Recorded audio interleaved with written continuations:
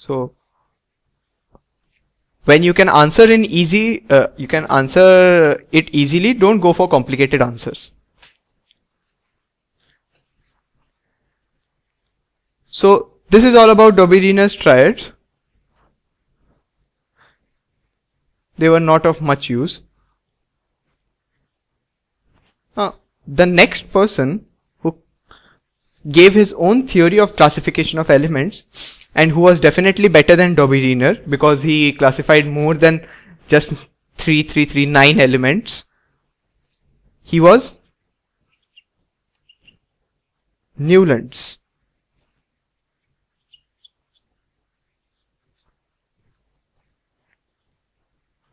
So Newlands, he classified elements from hydrogen to thorium.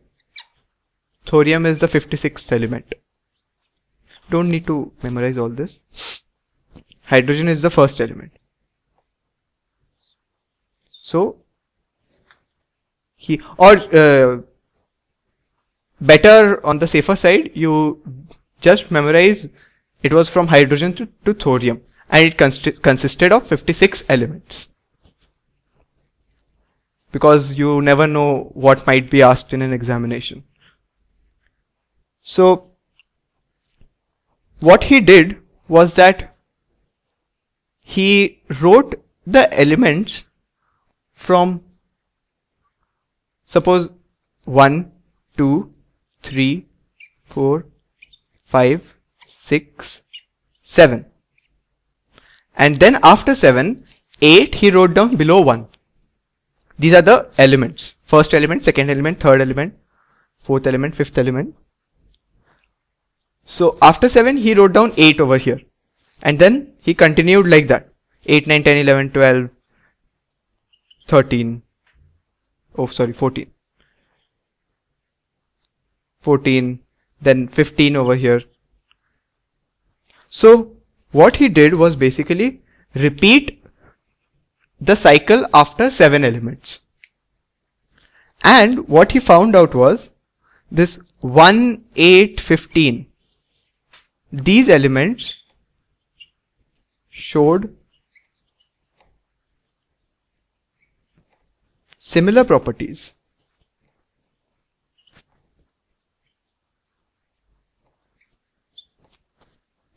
And similarly, 2, 9, 16, 3, 10, 17, all these also showed similar properties.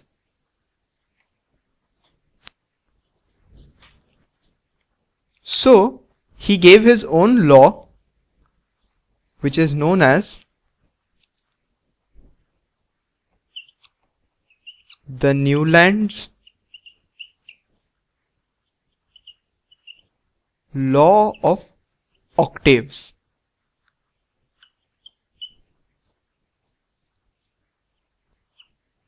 You know what octaves are? Octaves, they are the musical notes. They're nothing but musical notes.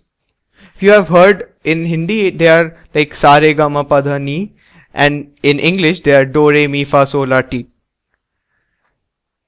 So, why he called it octaves? Because octaves also contain contain seven notes and after seven notes again the first note comes. Like you have sa re ga ma pa dha ni and then again sa comes. So just like that in the newlands law or in the newlands classification he repeated the eighth element after each seven elements. After seven elements he repeated the eighth element. So that was Newland's law of octaves. So if they ask you what's Newland's law of octaves, uh, or the definition of it, you can write that Newland's law, uh, law of octave is related to the classification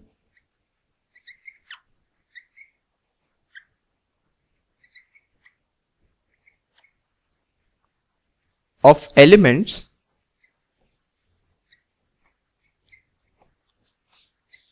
such that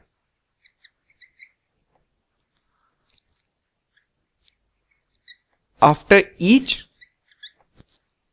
8 elements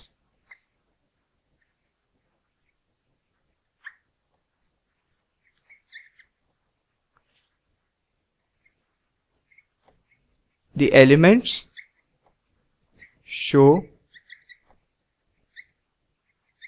similar properties similar physical or chemical properties.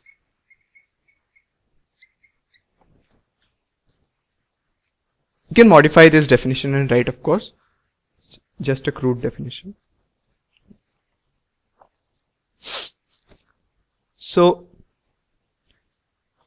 what he did was he placed hydrogen then there was lithium then there was beryllium then boron then carbon nitrogen oxygen fluorine sodium magnesium aluminium silicon phosphorus sulfur chlorine potassium calcium chromium titanium manganese iron. And then what he did was he put cobalt and nickel in the same place. So he just tried tried to adjust the cobalt and nickel because they shared similar properties into hydrogen fluorine chlorine uh, the that group.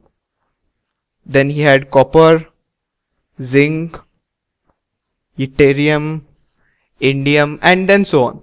You don't need to memorize so many things but the thing was that lithium, sodium, calcium, these all shared similar properties. Similarly, beryllium, magnesium, uh, sorry, this was potash uh, potassium. So beryllium, magnesium, calcium, they showed similar properties. So this was another way of classification of elements and he went up till thorium, which is the 56th element. And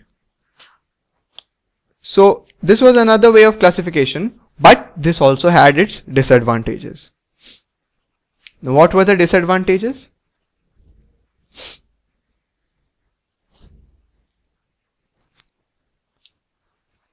The disadvantage was this had many disadvantages. Although it was a good attempt for classification, but poor Newland.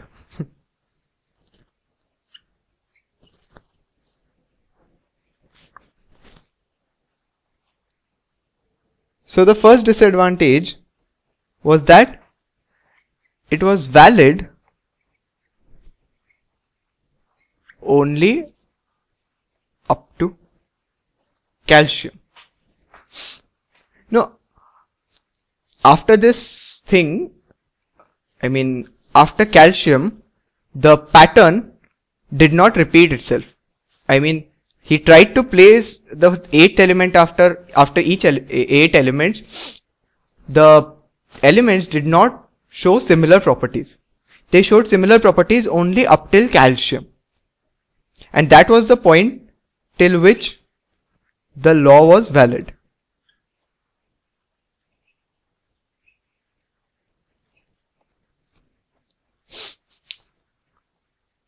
So all these cobalt nickel copper, these did not show similar properties as their other group members. Let me write that uh, thing again because I'll be needing it again and again.